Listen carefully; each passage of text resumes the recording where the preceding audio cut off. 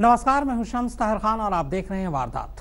UP में सत्ताधारी दल के एक ताकतवर विधायक पर दो साल पहले रेप का मुकदमा दर्ज होता है। विधायक को जेल भेज दिया जाता है। दो साल से विधायक जेल में ही बंद है और मुकदमे की कार्रवाई अदालत में जारी। इस दौरान पीड़ित लड़की के पिता को विधायक का भाई इतना पीटता है कि वो मर जाता है। रेप केस के एक अहम गवाह की रहस्य में मौत हो जाती है। अब केस में तीन और गवाह बचे थे। खुद पीड़ित लड़की, उसकी चाची और मौसी। रविवार को एक सड़क हादसे में चाची और मौसी की भी मौत हो जाती है, जबकि खुद पीड़ित लड़की और उसके वकील नाजुक हालत में अस्पताल में है। अब सवाल यह है कि केस से जुड़े लोगों की एक एक कर हो रही ये मौत इत्तेफाक है या फिर कोई साजिश?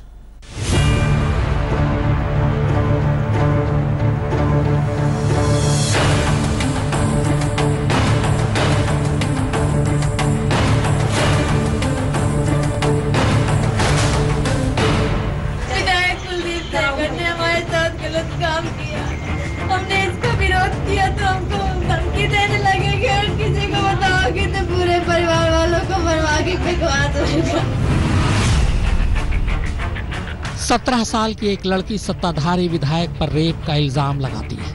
इल्ज़ाम लगाते ही लड़की रहस्यमय तौर पर गायब हो जाती है।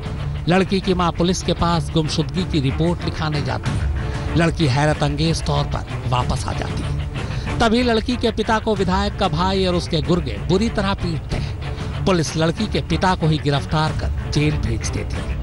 शरीर पर चौदह गंभीर जख्म के चलते दो दिन बाद ही पिता की जेल में मौत हो जाती है। लड़की के घर वाले फिर पुलिस के पास, विधायक और उसके भाई के खिलाफ मुकदमा लिखवाने पहुँचते हैं, पर पुलिस नहीं सुनती। इस बीच लड़की के साथ रेप के मामले में एक अहम चश्मदीद की गाँव में रहस्यमयी तौर पर मौत हो जाती है। आखिर में लड़की इंसाफ के लिए लखनऊ पहुँचती है। मुख्यमंत्री आवास के सामने आत्मदाह करने की कोशिश करती है। मामला मीडिया में आता है। मुख्यमंत्री सीबीआई जाँच के आदेश देते हैं। विधायक उसका भाई और गुर्गे पकड़े जाते हैं। विधायक पर रेप का मुकदमा दर्ज कर सीबीआई उसे जेल भेज देती है। मुकदमा शुरू होता है। अब रेप मामले में लड़की और उसकी दो चाची अहम गवाह के तौर पर विधायक के खिलाफ ज़िंदा सबूत बचे थे। तीनों अहम गवाह एक कार में एक साथ अपने वकील के साथ जा रहे थे। तभी एक ट्रक उनकी कार को टक्कर मारती है। लड़की की दोनों चाची की मौत हो जाती है। जबकि लड़की और उसका वकील फ़िलहाल अस्पताल में ज़िंदगी और मौत के बीच जूझ रहे हैं। पुराने दौर की किसी भी हिंदी फ़िल्म को याद कीजिए, जिसकी कहानी की ज़मीन कोई गाँव हो, गाँव में कोई जमींदार, नेता या दबंग हो। उसकी किसी से दुश्मनी हो, फिर वो दुश्मन से कैसे कैसे और किस हद तक जाकर बदला लेता है, आँखों के सामने वो सारे सीन घूम जाए।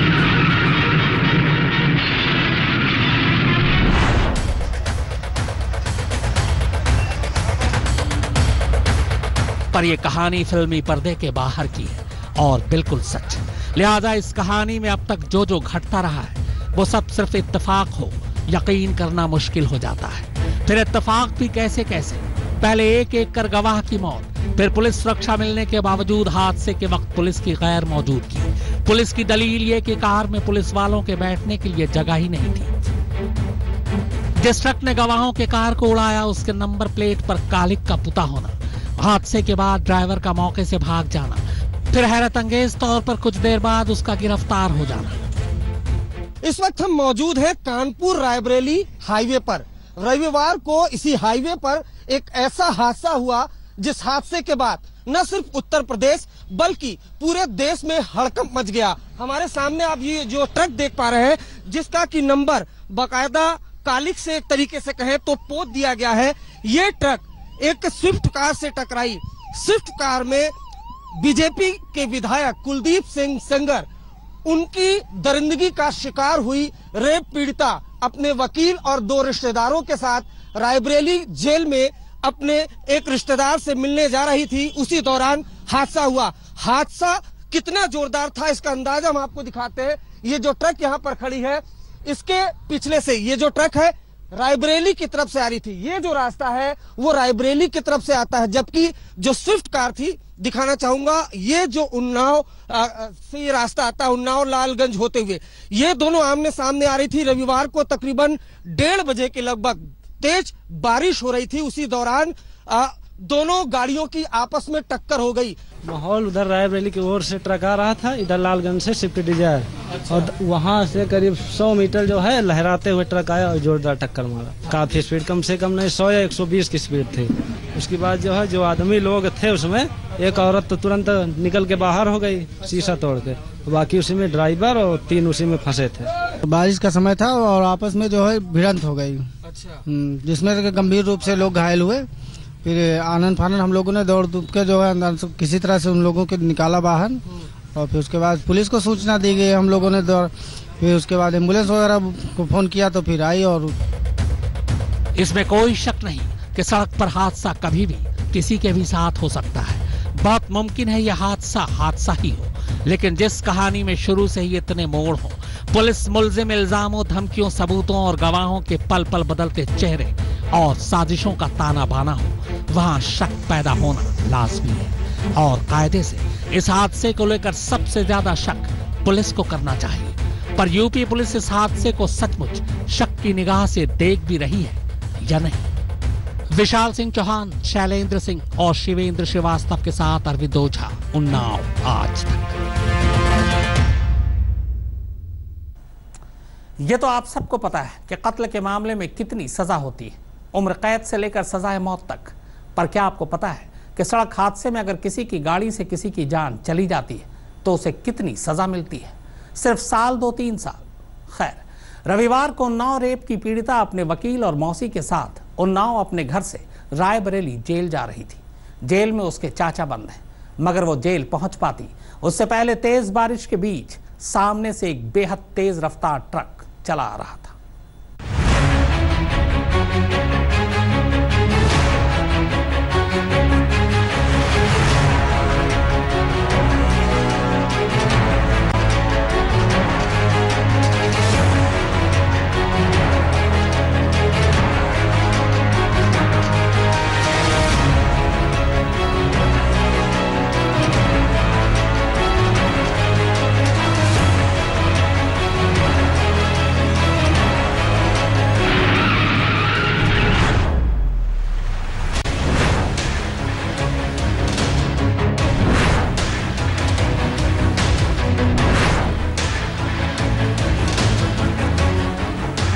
सफ़ेद रंग की DL one C L eight six four two Maruti Swift car Raebareli Kanpur highway से गुजर रही थी। कार उन्नाव से चली थी और उसकी मंजिल थी रायबरेली जेल। कार में उन्नाव रेप पीड़ित लड़की, उसकी दो चाची और वकील महेंद्र सवार थे। वकील महेंद्र ही कार चला रहे थे। दरअसल रेप पीड़ित लड़की के चाचा रायबरेली जेल में बंद है। चाचा पर 307 और 302 के तहत मुकदमा चल उन्नाव के बीजेपी विधायक कुलदीप सिंह सेंगर की हैवानियत का शिकार हुई रेप पीड़िता अपने दो रिश्तेदारों और वकील के साथ। रायबरेली के इसी जिला जेल में बंद अपने चाचा महेश से मिलने आ रही थी, जब एक ट्रक ड्राइवर ने जोरदार टक्कर मारी, जिसमें दो रिश्तेदारों की मौत हो गई, जबकि रेप पीड़िता और उसके वकील बुरी तरह से घायल हो गए। जेल में बंद रेप पीड़िता के चाचा महेश ने पुलिस को शिकायत दी है, जिसके बाद पुलिस ने कई संगीन धाराओं में मुकदमा दर्ज किया है। महेश ने एफआईआर में बताया है कि कुलदीप सिंह सेंगर और उसके 10 सहयोगियों ने बकायदा साजिश के तहत ये प्लान रचा था जिसके बाद रायबरेली पुलिस ने धारा 302, 506, 120 बी के तहत मुकदमा दर्ज कर लिया है। दोपहर का वक्त था और तेज बारिश हो रही थी। जेल अभी भी करीब 25 किलोमीटर दूर था। तेज बारिश में अमूमन गाड़ियों की रफ्तार धीमी हो जाती है। मगर रायबरेली की तरफ़ से एक ट्रक तेज बारिश के बावजूद पूरी रफ्तार से चला रहा था। रफ्तार इतनी कि ट्रक बाकायदा हिचकोले खा रहा था। और फिर तभी कार और ट्रक में आमने सामने की भयानक टक्कर होती है। टक्कर में कार के परखच्चे उड़ जाते हैं। रेप पीड़िता, उनके दो रिश्तेदार और वकील इसी स्विफ्ट कार में सवार थे। हादसे के बाद स्विफ्ट कार की क्या हालत है, ये आप देख सकते हैं। थाने के अंदर ये कार खड़ी है। कार पूरी तरह से क्षतिग्रस्त हो चुकी है, कार के फरकत पर खच्चे अगर एक तरीके से कहें तो वो वो उड़ चुके हैं। आगे की तरफ़ जो ड्राइविंग सीट थी, उस पर वकील बैठे थे रेप पीड़िता के, जबकि रेप पीड़िता आगे की तरफ़ बैठी हुई थी। बाकी दो रिश्तेदार पीछे की तरफ़ बैठे हुए थे। जो ट्रक है, वो रायबरेली की तरफ़ से आ रही थी। और जो ये स्विफ्ट कार थी, ये उन्नाव की तरफ़ से आ रही थी, उसी दौरान ये पूरा हादसा हुआ। उसके बाद जो स्विफ्ट कार थी, वो ट्रक के पीछे फंस गई। उसके बाद इतना जोरदार टक्कर हुआ कि जो स्विफ्ट कार थी उसके उसके परखच्चे उड़ गए। जो स्थानीय थाना है, थाने की पुलिस तुरंत जो है, वो मौके पर पहुँची। जोरदार बारिश हो रही थी। जिन लोगों ने इस हादसे को अपनी आँखों से देखा, उनके मुताबिक एक्सीडेंट के बाद कार में सवार सभी लोग। बुरी तरह घायल हालत में कार के अंदर ही फंसे थे। बस एक महिला किसी तरह कार के बाहर आने की कोशिश कर रही थी। बाद में आम लोगों और पुलिस की मदद से सभी को फ़ौरन अस्पताल ले जाया गया। लेकिन तब तक रेप पीड़ित लड़की की दोनों चाची दम तोड़ चुकी थी। बाकी दोनों घायलों की नाजुक हालत को देखते हुए उन्हें लखनऊ के ट्रॉमा सेंटर ले जाया गया, जहाँ वकील महेंद्र और पीड़ित लड़की अब भी मौत से जूझ रहे मौका वारदात से मिले सबूत ही नहीं, बल्कि कई ऐसी बातें हैं। जो इस बात की ओर साफ़ इशारा करते हैं कि कहीं न कहीं इसमें कुलदीप सिंह सेंगर का हाथ हो सकता है। पीड़ित परिवार की माने तो लगातार उन्हें विधायक के लोगों की तरफ़ से धमकियाँ मिल रही थी और उसकी शिकायत उन्होंने पुलिस प्रशासन से भी की थी, लेकिन उनकी कोई भी सुनवाई नहीं हुई। नतीजा ये कि जब ये एक्सीडेंट हुआ तो परिवार वाले ही नहीं, बल्कि तमाम राजनीतिक पार्टियाँ भी लगातार विधायक के खिलाफ ही आरोप लगा रही हैं। हमें तो लगता है इनकी आदमी जो है ना, ऐसे पुष्पा रोज उन्नाव जाती थी तो कुछ नहीं होता था। और जब सिपाली आई ना तो इसीलिए इनके आदमी जो नहीं है पीछे लग जाते हैं गवाह खत्म करने के लिए। इन्होंने ऐसा किया है। हमें तो लगता है एक्सीडेंट करवाया गया है। उनकी गाड़ी थी वो छोटी गाड़ी है। और उनसे जो बात हुई तो उन्होंने कहा था कि ऐसा करिए कि हमको कोई दिक्कत नहीं है। हम किसने कहा आपसे? पीड़िता ने और पीड़िता की चाची ने कहा। सजा भय है। अब ये मर जाए इसकी वाइफ तो सब लोग अंदर चले जाए। माता पीड़ तो चली जाए पीड़िता की माँ चली जाए अंदर। प्रथम दृष्टया ये एक एक्सीडेंट का मामला है और बहुत ही बारीकी से पुलिस इस बात की विवेचना कर रही है। आज पोस्टमार्टम हो रहा है जिसे हम वीडियोग्राफी भी करा रहे हैं। एक पैनल ऑफ़ डॉक्टर्स उसको पूरा इन्वेस्टिगेट पोस्टमार्टम कर रहा है। चश्मदीदों की माने तो हादसे के फ़ौरन बाद ट्रक ड्राइवर मौके से भाग गया। हालाँकि बाद में वो गिरफ़्तार भी हो गया। जिस ट्रक से यह हादसा हुआ, अजीब तौर पर उस ट्रक के आगे का नंबर प्लेट ग्रीस लगाकर छुपा दिया गया था। बाद में ग्रीस हटाई गई तो पता चला कि ट्रक का number UP seven one A P eight three double zero है। हालाँकि पुलिस ने एक्सीडेंट करने वाले ट्रक के ड्राइवर और मालिक दोनों को गिरफ़्तार कर लिया है। ट्रक के नंबर प्लेट पर ग्रीस क्यों पोती गई, यह अभी भी राज़ी है। हालाँकि ट्रक मालिक ने सफ़ाई दी है कि ट्रक पर फाइनेंसर के काफ़ी पैसे बकाया थे। लिहाजा फाइनेंसर सड़क पर ट्रक की पहचान न कर सके, इसीलिए नंबर प्लेट पर ग्रीस लगा दिया गया था। हालाँकि पुलिस का कहना है कि अक्सर आरटीओ से बचने के लिए भी ओवरलोडेड ट्रक वाले नंबर प्लेट से छेड़छाड़ करते हैं। लेकिन यहाँ एक और इतफाक ये था कि ट्रक पूरी तरह से खाली था। ऐसे में नंबर प्लेट में लगी ग्रीस शक पैदा करती है। जो ट्रक था वो सीज हो गया है। उसमें शायद फतेहपुर का रजिस्ट्रेशन नंबर है। और जो ड्राइवर है वो भी पकड़ गया। हालाँकि इतफाकों का सिलसिला यही नहीं खत्म होता। पिछले साल मामले में मीडिया की सुर्खियों और हाईकोर्ट के दखल के बाद पीड़िता को प्रशासन की तरफ़ से सुरक्षा मुहैया कराई गई थी। लेकिन जिस वक्त यह हादसा हुआ, उस वक्त पीड़िता के साथ कोई भी सुरक्षाकर्मी मौजूद नहीं था। जबकि डीजीपी के बयान के मुताबिक पीड़िता लड़की को सुरक्षा के लिए दस पुलिसकर्मी दिए गए थे, जिनमें सात गार्ड घर में तैनात किए गए, जबकि तीन गार्ड चौबीसों घंटे इनके साथ रखे गए थे, जिनमें दो महिला और एक पुरुष गार्ड भी है। मगर बकौल पुलिस रविवार को पीड़ित परिवार ने खुद सुरक्षा लेने से इनकार कर दिया था, क्योंकि उनकी कार में पहले से ही चार लोग मौजूद थे, जबकि उन्हें रास्ते से किसी एक और को भी लेना था। आज जानकारी करने पर मालूम हुआ है कि वो आज जो उनके साथ गनर थे, आज उनके साथ नहीं गए थे और संभवतः उन्होंने ले जाने से मना कर दिया था। फिर भी ये लोग साथ में क्यों नहीं गए? इसके लिए मेरे द्वारा अलग से जाँच कराई जा रही है। जाँच कराने के बाद जो सामने आएँगे, उसके अनुसार कार्रवाई की जाएगी। प्रथम दृष्टया ये एक एक्सीडेंट का मामला है और बहुत ही बारीकी से पुलिस इस बात की विवेचना कर रही है आज पोस्टमार्टम हो रहा है, जिसे हम वीडियोग्राफी भी करा रहे हैं। एक पैनल ऑफ़ डॉक्टर्स उसको पूरा इन्वेस्टिगेट पोस्टमार्टम कर रहा है। और साथ ही साथ विवेचना में हमारे पुलिस अधीक्षक और एक टीम हमने गठित किया है, जिसकी पूरी बारीकी से विवेचना की जा रही है। अगला इत्तेफाक ये था कि गाड़ी में मौजूद सभी लोग इस केस में सीबीआई के गवाह थे। मामले में एक और मुख्य गवाह की पहले ही संदिग्ध परिस्थितियों में मौत हो चुकी है। पीड़ित का पिता एक साल पहले ही पुलिस हिरासत में दम तोड़ चुका है। चाचा जेल में है। एक एक कर गवाह कम होते जा रहे हैं। तो क्या ये बस इत्तेफाक है? विशाल सिंह चौहान, शैलेंद्र सिंह और शिवेंद्र श्रीवास्तव के साथ अरविंद ओझा, उन्नाव आज तक।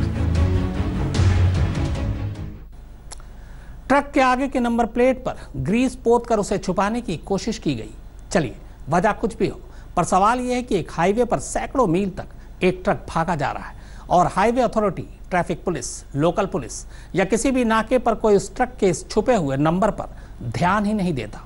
इस हादसे और हादसे की जगह से शक और सवालों के उस पार जाने की कोशिश की हमारे सहयोगी अरविंद ओझा ने। मौजूद है कानपुर रायबरेली हाईवे पर। रविवार को इसी हाईवे पर एक ऐसा हादसा हुआ जिस हादसे के बाद न सिर्फ़ उत्तर प्रदेश बल्कि पूरे देश में हड़कंप मच गया। हमारे सामने आप ये जो ट्रक देख पा रहे हैं, जिसका की नंबर बकायदा कालिक से एक तरीके से कहें तो पोत दिया गया है, ये ट्रक एक स्विफ्ट कार से टकराई। स्विफ्ट कार में बीजेपी के विधायक कुलदीप सिंह सेंगर, उनकी दरिंदगी का शिकार हुई रेप पीड़िता अपने वकील और दो रिश्तेदारों के साथ रायबरेली जेल में अपने एक रिश्तेदार से मिलने जा रही थी। उसी दौरान हादसा हुआ। हादसा कितना जोरदार था इसका अंदाज़ा हम आपको दिखाते हैं। ये जो ट्रक यहाँ पर खड़ी है इसके पिछले से ये जो ट्रक है रायबरेली की तरफ़ से आ रही थी। ये जो रास्ता है वो रायबरेली की तरफ़ से आता है जबकि जो स्विफ्ट कार थी दिखाना चाहूँगा ये जो उन्नाव से ये रास्ता आता है उन्नाव लालगंज होते हुए ये दोनों आमने सामने आ रही थी। रविवार को तकरीबन डेढ़ बजे के लगभग तेज बारिश हो रही थी। उसी दौरान आ, दोनों गाड़ियों की आपस में टक्कर हो गई। टक्कर इतनी जोरदार थी, आप अंदाज़ा लगाइए। भारी भरकम ट्रक है, लेकिन ट्रक ट्रक की हालत भी खस्ता हो चुकी है इस हादसे के बाद। हादसा इतना जोरदार था और इतना भयानक था कि बाकायदा आप ये देख पा रहे हैं, जो ये ट्रक थी, ये इस हिस्से में, जो ट्रक थी, वो ट्रक का जो हिस्सा था वो अलग जाकर गिरा और उसके अलावा जो कार थी, वो जाकर गिरी। चश्मदीदों का कहना है कि कार ट्रक में पूरी तरह से फंस चुकी थी। आपको दिखाना चाहूँगा, जब ये हादसा हुआ तो ये जो इलाका आप देख पा रहे हैं, इस इलाके में आकर जो ट्रक है, वो फंस गई। उसके बाद बकायदा ट्रक को क्रेन की मदद से उस जगह पर ले जाया गया। लेकिन ट्रक यहाँ पर फंसी है, उसके बाद आप देख पा रहे हैं यहाँ पर। जो निशान है, यहाँ पर फॉरेंसिक की टीम भी आई थी, लेकिन आप ये देख पाइए देख पा रहे हैं, इतनी जोरदार टक्कर कि बकायदा जो कार के पार्ट्स है, वो फ़िलहाल भी यहाँ पर मौजूद है, यहाँ पर पड़े हुए हैं।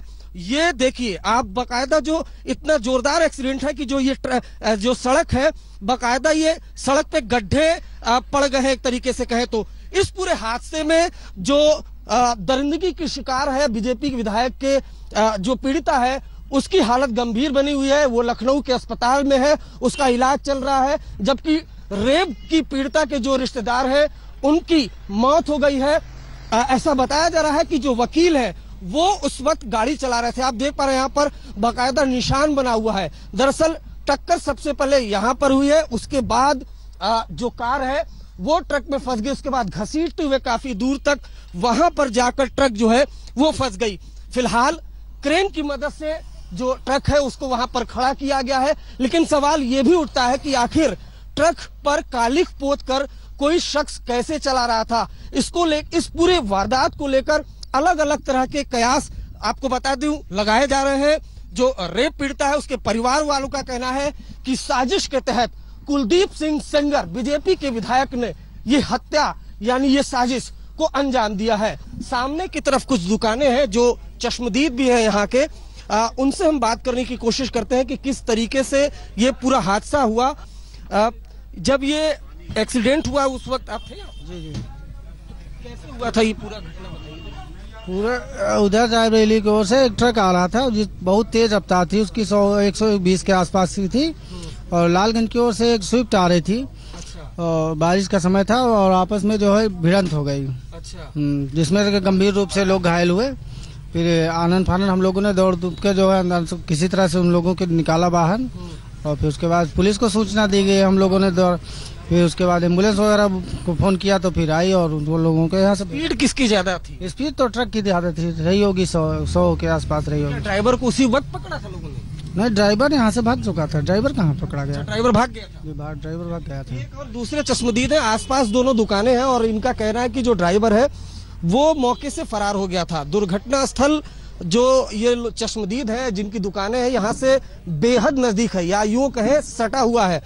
जो ट्रक है, वो रायबरेली की तरफ़ से, यानी इस तरफ़ से आ रही थी।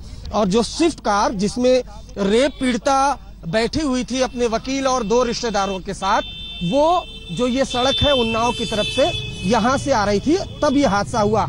जितने भी चश्मदीद हैं, उन सब का यही कहना है कि जो ट्रक ड्राइवर था, ट्रक ड्राइवर था, वो काफ़ी स्पीड से आ रहा था और काफ़ी स्पीड से उसने स्विफ्ट कार को टक्कर मार दी। कैमरामैन प्रदीप गुप्ता के साथ अरविंद ओझा, रायबरेली, आज तक। 4 जून 2017 को कैसे शुरू हुई थी ये कहानी? उन्नाव रेप केस का हर वो पहलू जो आप जानना चाहते हैं। एक ब्रेक के बाद आप देखते रहिए वारदात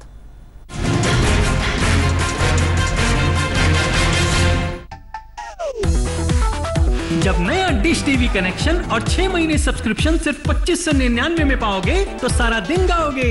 डिश नहीं डिश क्या है ये?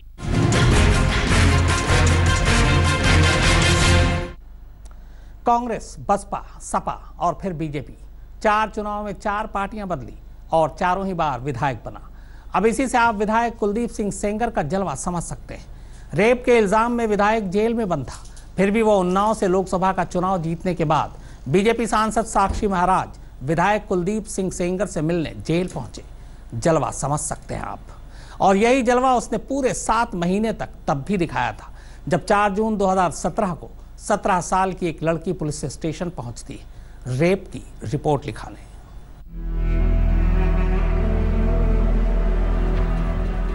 एक लड़की और उसका पूरा परिवार पूरे सात महीने तक इंसाफ के लिए दर दर ठोकरे खाते हैं, पर कहीं सुनवाई नहीं होती। क्योंकि अपने इलाके के जिस हाकिम पर इन्होंने उंगली उठा दी थी, उसके आगे कानून और इंसाफ तक बौने नज़र आ रहे थे।